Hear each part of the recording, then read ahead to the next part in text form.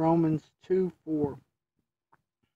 Or do you mistake the wealth of his mercy and the gentleness of his forbearance, not reflecting that the mercy of God should lead you to change your mind?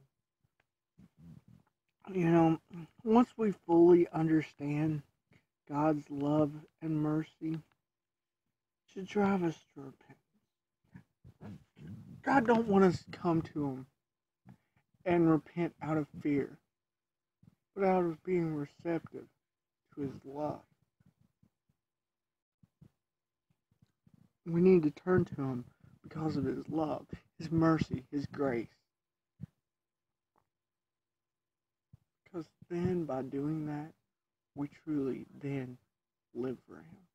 Our minds become renewed by.